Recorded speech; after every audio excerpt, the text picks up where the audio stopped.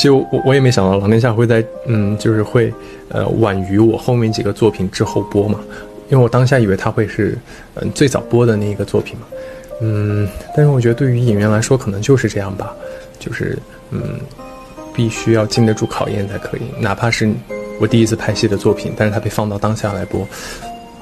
我相信肯定会有很多呃批评的声音也好哈，或者是怎么也好。我当然都接受了，因为我自己都是带着一个批判的眼光去看我当时的一个表演，因为我觉得只有这样，在以后才能去规避一些，嗯，不好的东西。嗯，那个时候的阶段是一个，嗯，新人的一个非常青涩的这样的一个状态，对于嗯拍摄这个事情还比较陌生，对于演戏比较陌生，所以，嗯，我还挺怀念那个时候的阶段的，特别的深色，然后有一种。